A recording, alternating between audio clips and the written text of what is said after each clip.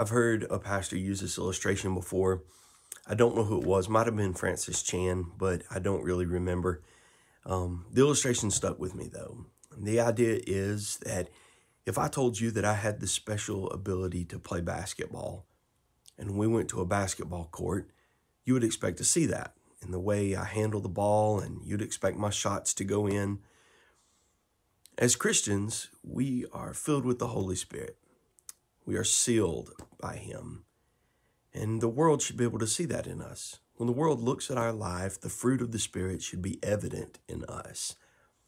Join us today as we look in Ephesians chapter 5, verses 18 through 21, a passage that tells us what it should look like for us to live in the Spirit.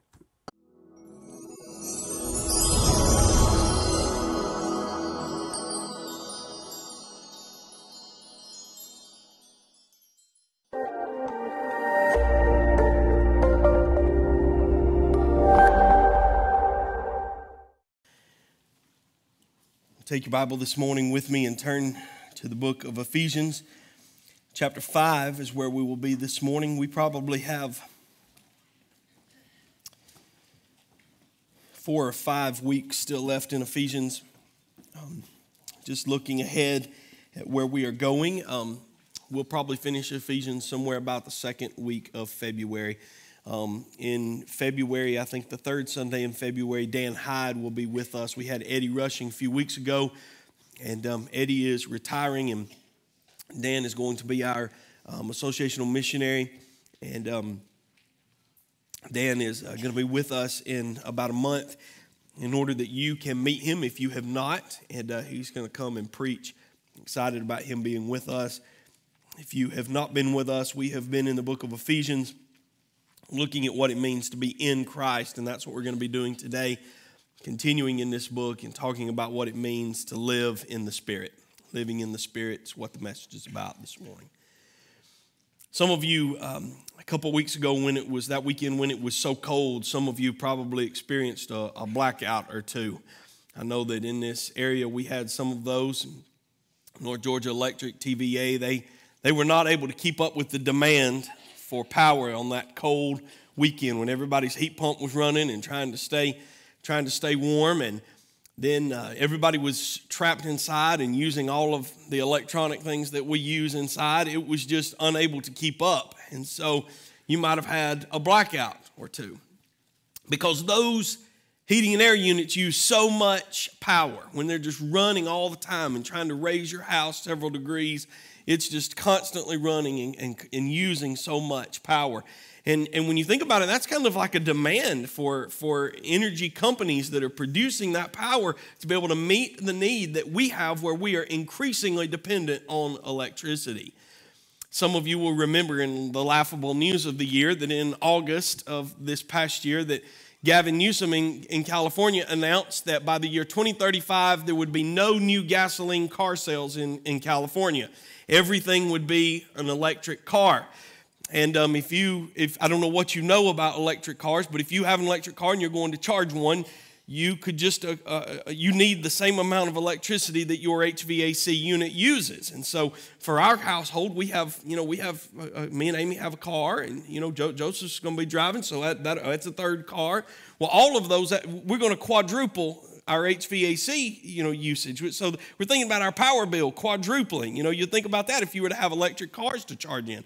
So in August, he says in, in California by the year 2035, no new car sales. Then in September, do you remember what happened? Energy shortages. Californians, would you please conserve energy? We don't have enough as it is right now, but we want everybody to have an electric car by 2035 because those demands for electricity are so huge. Imagine for just a minute, if you think about how we as a society depend on that, imagine that we had some sort of free, unlimited source of energy. Imagine what would happen if we had if we had something that would power everybody could have an electric car, have two or three. Your your household, all of your needs would be met. There would be no rolling blackouts. There would be no energy shortages. We had this unlimited free energy, but we didn't use it. We didn't use it. We kept living the way that we are now energy shortages, conserve, unplug things that aren't charging, don't use big appliances, all that stuff that they say. We, the need was there, and we had something that would fill it, but we didn't use it.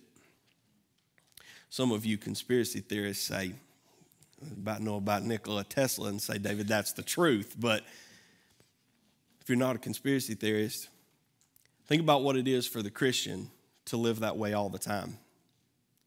For the Christian to know that the power of the Holy Spirit, an unlimited, free to us. The benefits are there for us to use.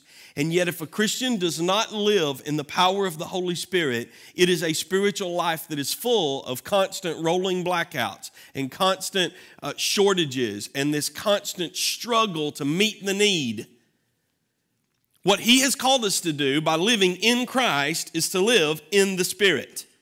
That's what he has given us is the gift of his spirit. And as we look to this book of what it means, this letter that Paul has written to the Ephesians to tell them how it is to live in Christ, one of the most exciting things, one of the most practical things that happens for us is that the Spirit helps control us and the Spirit's power is working in our life. As we've looked at chapters 4, 5, and 6, as we're looking through this end of this letter, it's all practical things. Remember, chapters 1 through 3 was theologically saying this is how you are in Christ verse, uh, chapters 4, 5, and 6. Now that you are in Christ, this is how you practically live. We're fixing to hit a section of Ephesians where all this week and the next three, so the, the four messages here in this little block, they all are, are dependent on each other. They all work together. The same concepts that we're going to hit in the scripture today, we will refer back to over the next three weeks as we look to this, series, because one of the most practical ways that the Holy Spirit works in our life and controls our life, one of the most practical ways that the world can see that we're in Christ is when it comes to our relationships. The four passages that we're going to look at, the principle is given to us today, and then some examples of that are given in the subsequent weeks. So today, we're going to be looking at the relationship that, the, that, that you as a Christian have with the Holy Spirit and have with other believers. Next week, we're going to look at what it means for a husband and a wife. The next week, we're going to look at what that means for parents and children. The next week, we're going to look at that, what it means for work relationships. When you think about how, what the Spirit is doing here, what the Holy Spirit is, is doing in our life, how it's affecting our relationships, that's one of the most practical ways and, and one of the best ways that we can see whether we are in Christ or not. One of the advantages of looking at the book of Ephesians is that if he's telling us what it means to be in Christ, every week that we study this passage is an opportunity for us to ask, Am I in Christ? Am I living in the Spirit? If that's what he's calling me to do, am I doing that? It's a great book for us to be introspective when we come into the house of the Lord. So let's look together at our passage for today in Ephesians chapter 5, starting in verse 18. He says, Do not get drunk with wine for that's debauchery, but be filled with the Spirit, addressing one another in psalms and hymns and spiritual songs, singing and making melody to the Lord with your heart, giving thanks always and for everything to God the Father in the name of our Lord Jesus Christ, submitting to one another out of reverence for Christ. Today, as we look to this passage, I want us to understand the structure of this passage first. Let's note that before we get into the outline. Let's talk about that together a little bit. If you look at verse, if you think back to what I said a while ago, that this passage deals with our relationship with the Holy Spirit and then with other believers. Note how you find that in the text. In verse 18, it tells us that we are to be, as Christians, filled with the Holy Spirit. But then you will notice that the result of that, the result of our relationship with Him, comes in verses 19, 20, and 21. And twice in those verses, you have this phrase, one another. So, to the extent that we are living in the Spirit, it will affect how we live with other people, how we, how we interact in the relationships that we have, it will matter. Think for a minute about what it says in verse 18. Because verse 18 gives the command, And then verse 19, 20, and 21 gives the evidences that will prove whether we are following the command or not.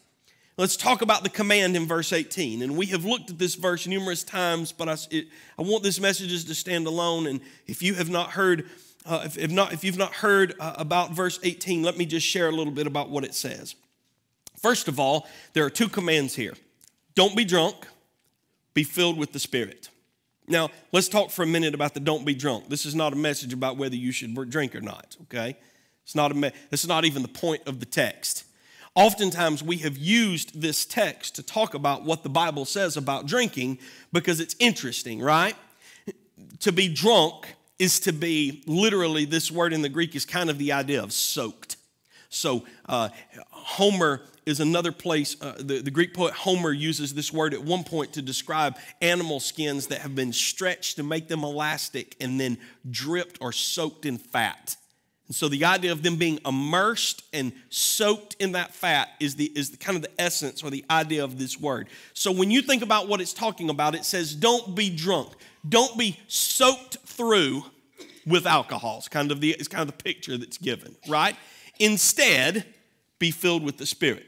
And what we've talked about before is, is that what this is this is a great argument for the for the for when you th- think about drinking alcohol but the idea here is is that when when a when a drunk drinks wine or alcohol they become filled with it and they become controlled by it right?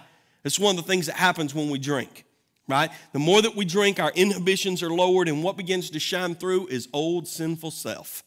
It causes us to do the things that we know that we shouldn't do. Many times drinking is going to lead to other kinds of sins because our inhibition is lowered and we are not in control of ourselves.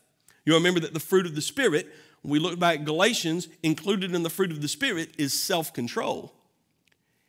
When we drink, we lose self control. That's why we have songs about, you know, dancing on tables and lampshades on heads and that kind of stuff, right? Because we lose control.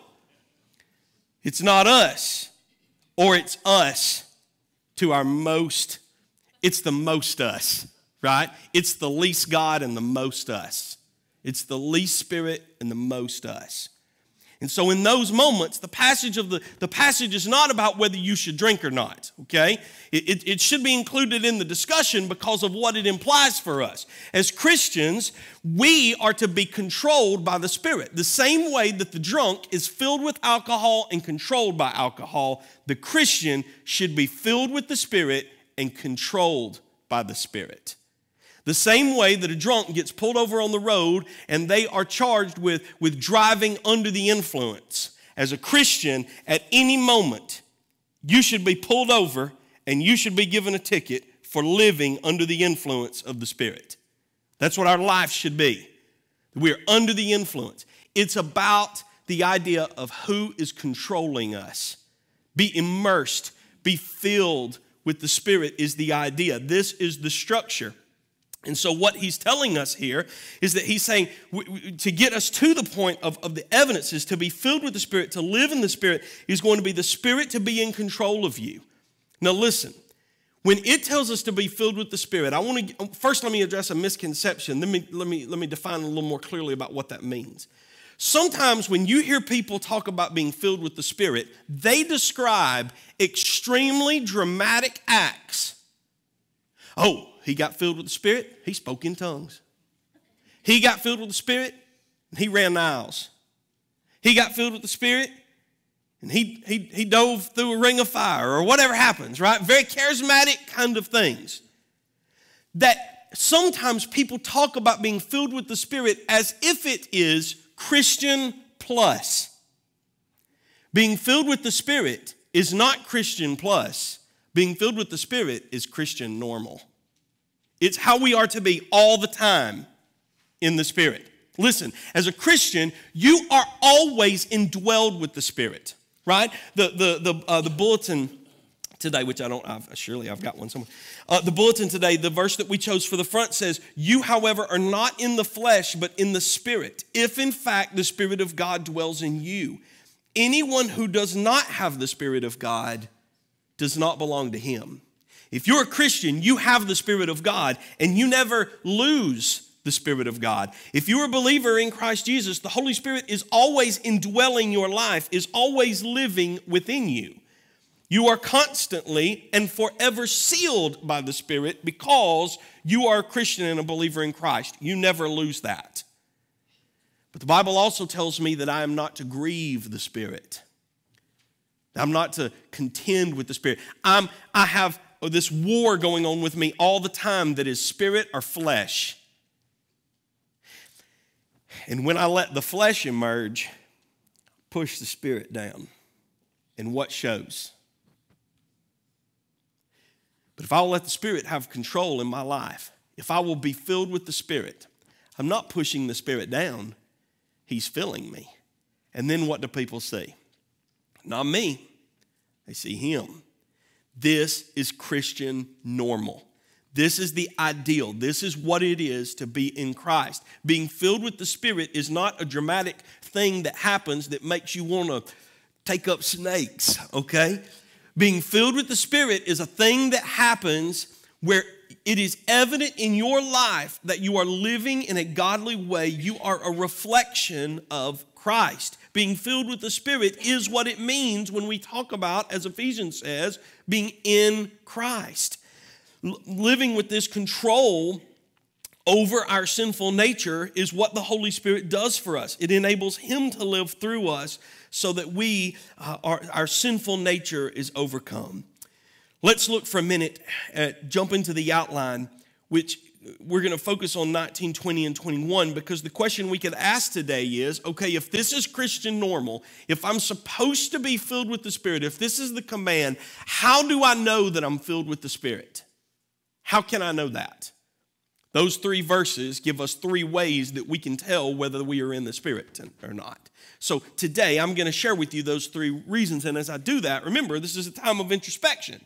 What we're supposed to be doing is we're supposed to be saying, okay, this is what the Holy, this is what the Bible says I should be if the Holy Spirit is filling me. Am I that? I believe a couple things are going to happen. You could be here and you could be a believer and you could listen to everything I'm saying and you could say, yeah, I feel like, yeah, yeah, the Holy Spirit is evident in my life.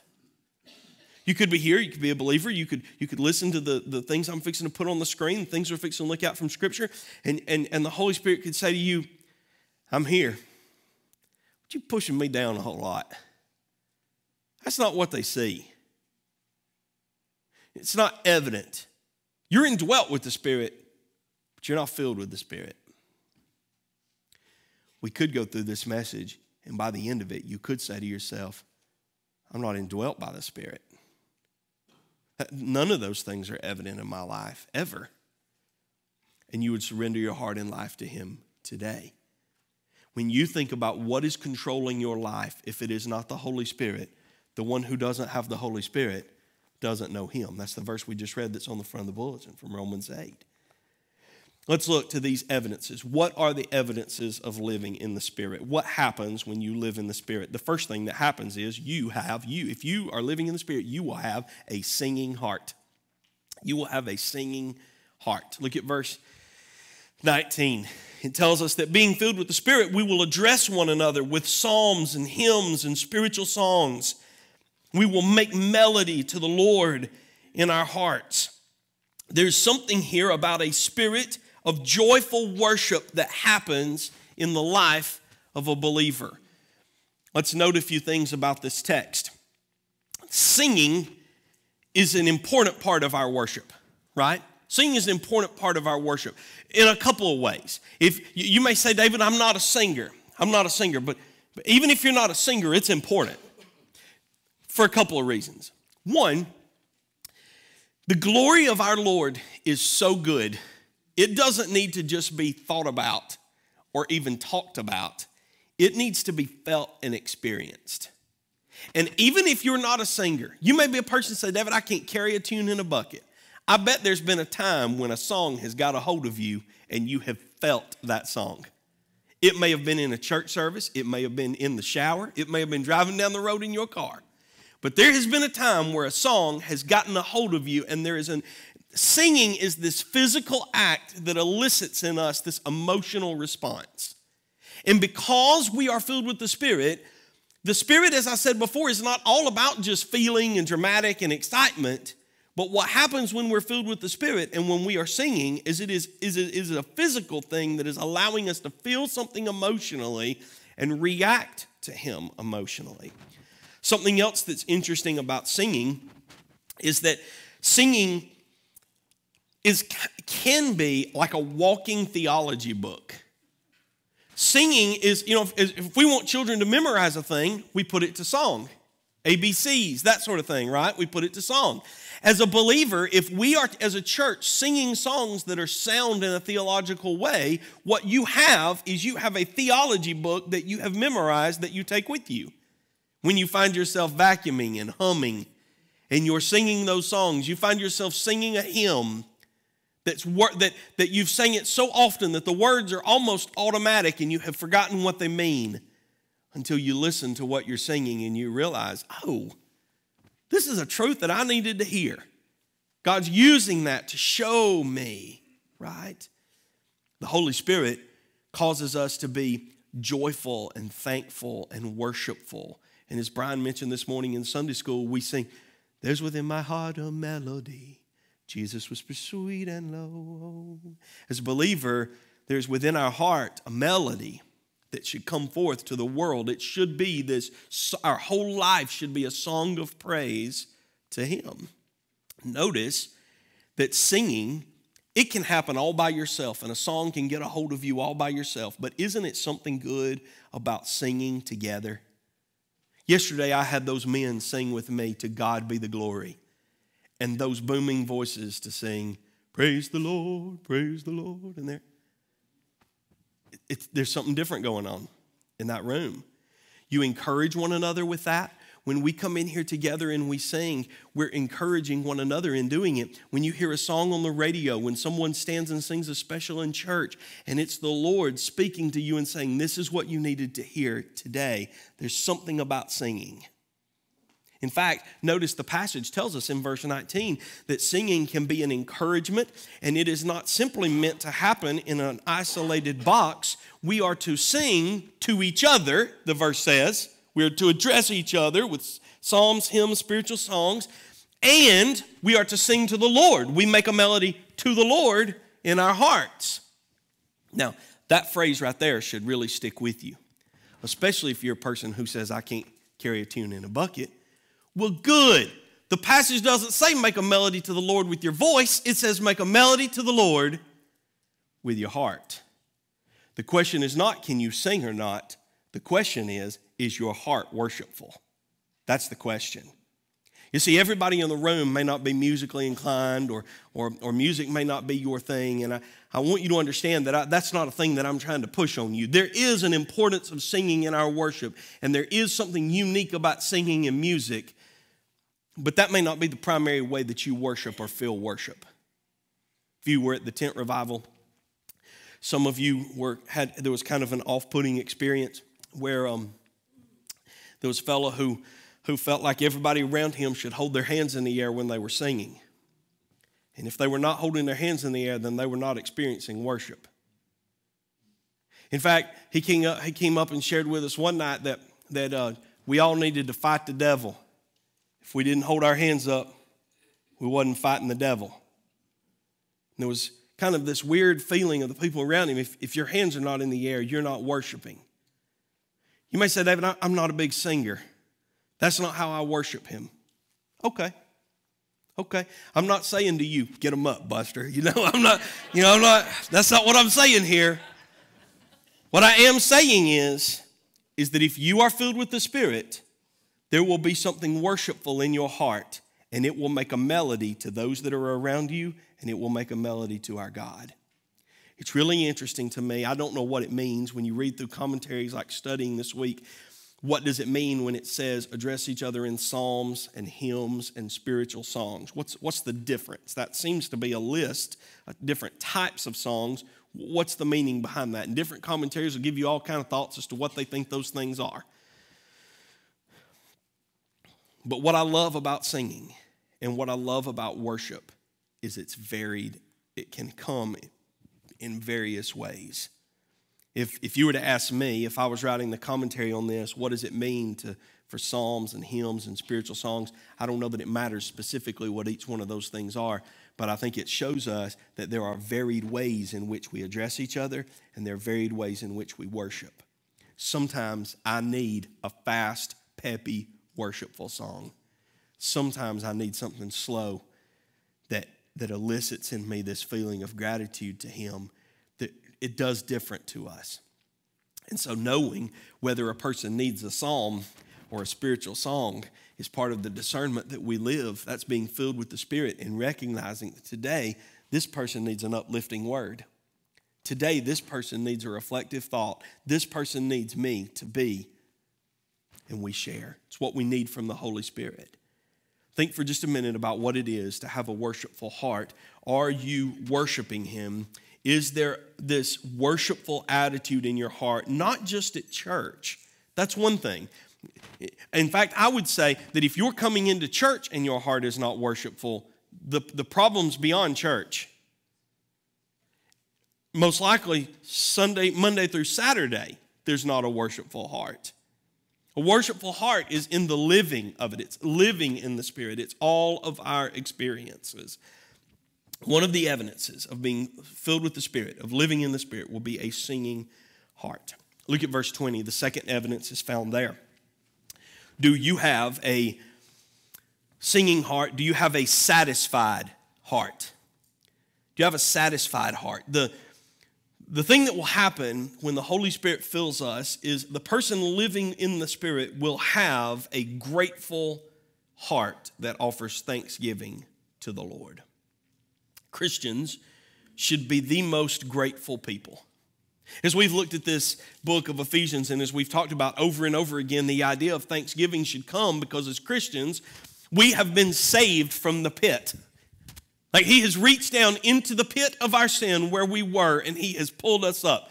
That alone, if we had nothing else to thank him for, that alone is something to thank him for. Every person in the room could be thankful for the gifts of life and the blessings of life that he has given that have come from him. The Christian recognizes that all that we have comes from Him spiritually, physically. Every single thing that we have comes from Him. And so the Christian, above all people, should have a contented, satisfied heart, knowing that their God, who owns the cattle of a thousand hills, can meet that little need that we have. We should be so grateful and so thankful for what He has provided, knowing that no matter what we don't have, we have a whole lot that we don't deserve. And so when we start thinking about it in terms like that and recognizing it like that, Christians, those filled with the Spirit, should recognize it. We should recognize our position. We should recognize that He is God. Notice how the passage goes in verse 20. We should give thanks always and for everything to God the Father in the name of the Lord Jesus Christ. Isn't the last half of that verse very lofty for a simple command to just be thankful? Do you know why I think the language is there? Be thankful to Almighty God who has given you life and provides everything that you need. That's what's kind of the idea there. It's this simple command be thankful and then he tacks on all of that lofty so we recognize our spot. We recognize that we do not produce, we recognize that we are stewards. Everything we have comes from him. We've been blessed by it. And so the way that we handle it, the way that we use it, is very important. This verse zeroes in on the fact that it is to God that we give thanks. But notice something else about the verse in verse 20. We're to give thanks to God in the name of our Lord Jesus, but notice how and when we are to do it, which makes the verse much more difficult. Always and for everything. Give thanks always and for everything. But, David, what I'm going through right now really, really stinks. And, David, if you knew what I'm going through right now, you, would not expect me to be thankful to God. I'm not trying to diminish the thing that you're going through. But one of the things that we hold to as believers is that the God that we serve is sovereign and in control of it all. If we don't believe that, why would we worship him? Why would we worship and serve a God who can be controlled by others and who is handcuffed by the circumstances that we experience? So, as a Christian, one of the things that we recognize is that everything that we have comes from Him, and everything we endure, He allows. Everything we endure, He may not. Um, he may not have brought that into your life. He may not have be he may not be the genesis of that thing, but he is allowing that thing to do something in you. He's ultimately takes responsibility for all of it.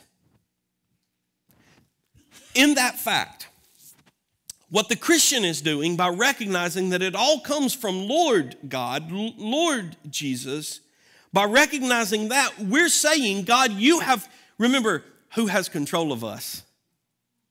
Not alcohol and not the awful circumstances of our life. Who has control of us? Spirit is filling me. The Spirit's in control of me.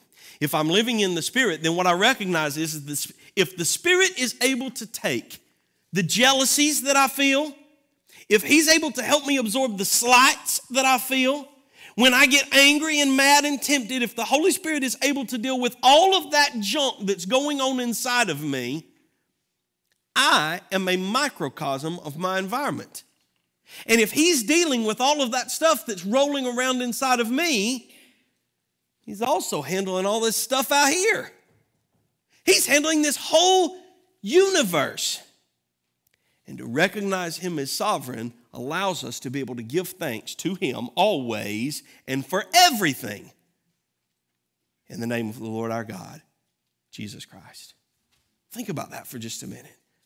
What's happening in us? If He is controlling us, He is controlling how we move through this world. He's controlling our reaction to all of those bad circumstances. This is what the Holy Spirit will do in the life of a believer. We're, listen, we're all tempted to have those moments where we get into mully grubs and we complain about things. We've all got those moments, okay? And sometimes we just want to pout. But what do people know about you? Are you most known for having a grateful, worshipful, contented heart? are you most known for your complaints and negativity? That's a real question. That's a real question for believers. Because the, the, when it says give thanks, we're not talking about just gathering around a table with a horn of plenty and a turkey. That's not what we're talking about here. What we're talking about is giving thanks always and in everything. Are we approaching every instance of our life as in, He's got this? As in, I am going to, I'm, I'm not going to whine about this thing. I am going to get through this because He will not leave me and He will not forsake me. And He is filling me and He's handling all of this stuff inside of me that makes a man corrupt. He's dealing with that. And if He can deal with that, He can deal with this. I'm going to trust Him. I'm going to have a, I'm going to have a satisfied, contented outlook about this thing because He's the one who's in control. The Christian is the one who lives a life of grateful thanksgiving. What are the evidences of living in the Spirit? Well, one is going to be that we're going to have a singing, worshipful heart. The second is we're going to have a satisfied, thankful, contented heart. But when you get to verse 21, it tells us that those that are living in the Spirit will have a submissive heart. Will have a submissive heart. Those who are living in the Spirit will submit themselves for the good of other people. I want to talk for a bit about this verse and especially that word submit because this thought, this concept, is what drives the following messages, the following passages of Scripture that come. Submit in the Greek is this word, hupotasso. And the word itself is about, um, the word itself is about an army, a group of soldiers coming into formation. When I was in uh, ROTC in high school, uh, there, there was a certain way there that we would line up. So when we would when we would line up as a, when we would line up as a, as a company, you would have those squads, and the, the front row would be squad, you know, squad A and B and C. You would have these squads that would be in order. And the first person, the person who would be who would be all the way to, to the right of that side, if you're facing it to the left, would be the squad leader. And, and then it would, it would fall in natural progression down the way. And you, and you knew where you were supposed to go in that, in that formation. And so when the call came, fall in, you went to, you went to that spot. And, and you, were to, you were to measure and make sure that you were in the right spot and the right distance away from each other. We're going to be inspected here, and you, and you stand in formation. It's kind of this falling in to where we belong kind of idea. That being the case, submission is not really about rank or about authority. It is, but it's not in an equality sort of way, it's in a functional sort of way. The idea there is, is that, that all of us, if you consider the verse, what the verse is saying is who submits? Look at verse 21 who submits? Everybody submits. Everybody. And who do we submit to? Each other. We submit to each other. This is a huge, it's a huge thought for us. If we, because the world will look at the word submit and say, see, the Bible hates women. Submit, right? So the Bible hates women. Those people who pronounce that, in my estimation, have never studied their Bible. Because it's really hard to read the last part of Ephesians 5 and the rest of Ephesians 6 and tell me that the Bible hates women. Submitting, notice how the Bible over and over again is telling us submit to each other. Verse 21 says it right here. Think for a minute about the concept that you find in every aspect of Christian life. One in particular that I'll give you deals with the idea of spiritual leadership. So, multiple times in the letters of the New Testament, the, the, the word is given from the, the writer of the letter to the church submit to those that are in leadership positions. Submit to those, obey them. One particular place is, is in the book of, uh, I think Hebrews 13 is the one that I gave. It doesn't quite use the word submit, but the idea is here. Remember your leaders, those who spoke to you the word of God. Consider the outcome of their way of life and imitate their faith. Over and over again, the Bible will tell those in the early church there are those that are uh, apostles. Give yourself over to the apostles' teaching. Um, submit to Christian leaders. They're looking out for you. They have to give an account for you. They, they're going to be judged based on how they lead you. So notice that and follow their leadership. Submit to Christian leaders. You know who Christian leaders are submit to? Those that they're leading. Paul in 1 Corinthians 9 and 19 said, For though I am free of all, I have made myself a servant of all that I might win more of them. It's this mutual thing that is happening.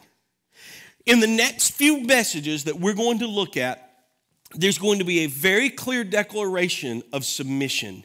And in the next three messages that we look at, think for a minute about what's said. Wives, submit yourself to your husbands. That's there. And you know who husbands are supposed to submit to? Their wives. You know why? Because they love their wives with a self sacrificial love that is a Christ like love. It's very clearly in the passage. Children, submit and obey your parents. Parents, submit to your children by not provoking them to wrath. Employees, submit to your bosses by honoring what they would have you to do, by respecting them and doing the things that they ask you to do and doing a good job of it. Bosses, submit to your employees by not taking advantage of them and treating them the right way throughout Scripture, this mutual submission is what will happen when we are filled with the Spirit. We will recognize each, it will not just be about what we want. Our personal preferences begin to go out the window, and what we begin to look to is to the good of others. We begin to consider others more important than ourselves, and we begin to look to them and we begin to serve them as they need us to. A spirit filled person will, will get rid of selfish agendas and they will simply serve Christ. Now, I want you to think for just a minute about something I said before. Do you remember how I said that being filled with the Spirit is not some dramatic display of, uh, uh, of charisma? It's not some d- d- dramatic display like that. It's Christian normal. What do you think is more advantageous for the church?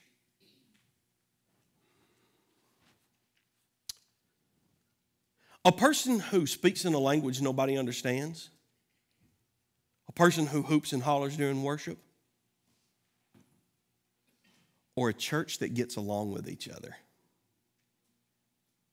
If the mission we have is to reach this lost world, what advantage is the excitement? And what advantage is it for a church to be at peace with each other? You see, if we're fussing and fighting among ourselves, we can't make disciples. And making disciples is the mission. That, that's the mission. That's, that's it. That's what we're here for, is to make disciples. That happens two ways, remember? we see them baptized, we see them saved and baptized in the name of the Father, Son, and Holy Spirit and we teach them to observe all things that I have commanded you. We grow in grace, we grow in knowledge, we grow together with Him. What are we doing at Center Grove? And we can't do that when we're unwilling to submit to each other and live together as He's called us to. If we have a group of people whose sinful natures have risen to the top. We've shoved the Spirit down in there. We're indwelt with the Holy Spirit, but we stuffed him down in there. The same, what I'm doing here is like, you know, when the garbage is full. You know how you stuff the garbage down in there, you know, so you can fit a little bit more in? We stuff that Holy Spirit down in there.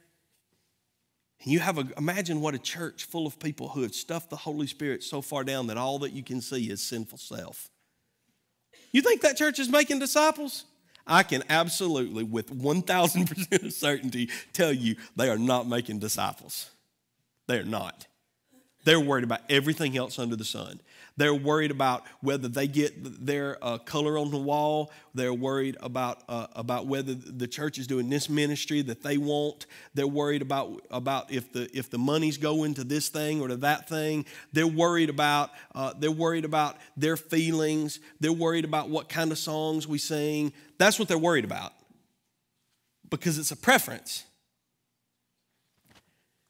When we do the Spirit like this and we just shove Him on down, what we want floats to the top. But if we'll be filled with the Spirit, if He's being praised, I mean, I know some churches we don't we don't fight over this whole lot. So this is one I'll this one I'll use. We don't fight over whether we're singing old hymns or new songs. We don't fight over that a whole lot. We don't. There's some places that are really, really divided over that. But you know what? If you're filled with the Spirit, it don't matter if the song was written in 1887 or if it was written in 2007. It will not matter to you because what your focus is going to be is does it praise Jesus? You won't care because your focus is going to be on Him. That for us as a church, that should rise to the top. David, how is it that a church filled, filled full of sinners who have this sinful nature how are they ever going to do any kind of mission like make disciples? How are they ever going to coexist together? We would be tempted to say, well, just get all that sin out of your life. Just get all that sin out of there. All that stuff that's causing you these problems, just toss it out. Just throw it out. Read about this. This is a good way to think about it if I, if I were to take this glass and I were to say, okay, we, we, we want to get all the air out of this glass? How do we, how do we get it out of there? Well, we could come up with all kind of contract, contraptions to do that, you know. Maybe very simply, we, you know, oh, it didn't make a good seal. Well, I'll make me, I'll design me something that'll slip over this and it'll airtight seal it and it'll vacuum and it'll suck all the air out of it. Well, that seems difficult. I don't, I don't have any of that stuff. We could put this glass on a rocket ship. We could launch it into space. Once this glass enters the vacuum of space, if the pressure doesn't squish it, all the air will be gone out of this glass. And we could come up with all kind of ways that are complicated and difficult to extract the air from this glass. Or we could very simply just fill it up. And see, so many times we talk about what it means to, to start the new year off right, and as Jason told us, to grow toward maturity. And you know what we're thinking about? There's all this junk in my life, and I got to figure out how to get it out of there. Let's get it out of there. That's not what the passage is telling us to do. You know how the passage tells us to overcome our sinful spirit? Be filled with something else. Don't try to get all that out of there be filled with the Spirit. And if you're filled with the Spirit, there's not room for jealousy. There's not room for anger or dissension or lust or greed. There's not room for any of that because you're filled with the Spirit. With your heads bowed and your eyes closed, I would like for you to envision the glass of water that I just held up before you and ask yourself Does my life look like that? Listen to me, I'm not asking you what little things are standing in the way between you and God. That's part of it. But let's just be frank.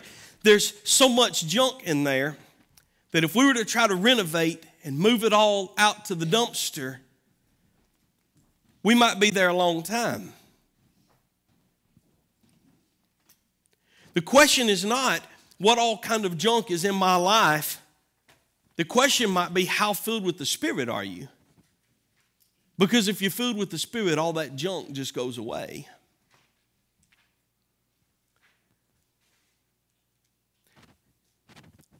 This morning, question number one Do you have the Holy Spirit living within you? Are you a believer who possesses the Holy Spirit of God. Have you ever felt the conviction of the Holy Spirit? Have you ever read His Word and a light bulb came on? Have you ever felt the, the voice of God speak to you? I'm not talking about hearing audible voices. I'm talking about have you sensed the Spirit of God leading you to a thing? Have you had the discernment of the Spirit to know a thing that you shouldn't know, but it's only through God's grace that that thing has been revealed to you?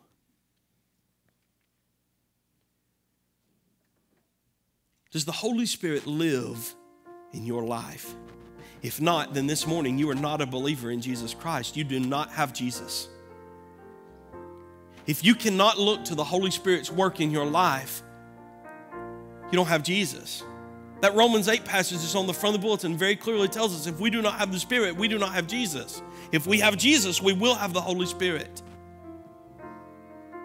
And so this morning, if you're here this morning and you're not sure as to whether your relationship with our Lord is right or not, then to, this morning you need to come immediately to this altar.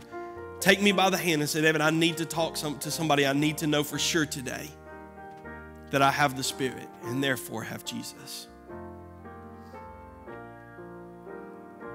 Maybe you're here today and you're a believer. Does your life look like that glass? What's exposed to the world? Self or spirit? Flesh or spirit? How's that affected your personal testimony? How's that affected your family? How's that affected our church?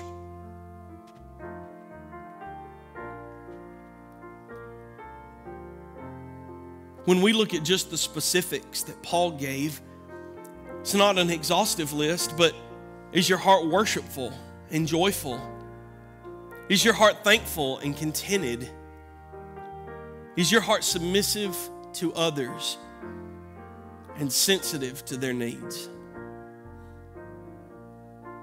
If he's spoken to you about one of those areas, he said, Look, I, am living in, in your heart, but you have pressed me down in this particular spot. Come to me and make these things right. Today, I'm going to encourage you when we sing just to come and just pray. Just take, bring that to him. My desire is that when we would leave this place, every single one of us would look like that glass of water. No room for anything else. Lord, you command us to be filled with your spirit. You command us to do that. Lord, we could come to this altar today and we could pray, Lord, fill me with your spirit. But the onus of the command is on us. So, Lord, I pray that we would come in repentance. We would come with hearts that are pliable. We would come setting aside all our willful disobedience and we would bring it to you. Not grieving the Spirit, not quenching the Spirit, being filled with the Spirit. This morning, Lord, we want to see you in a unique way. Help us to be obedient now. It's in your name that we pray. Amen.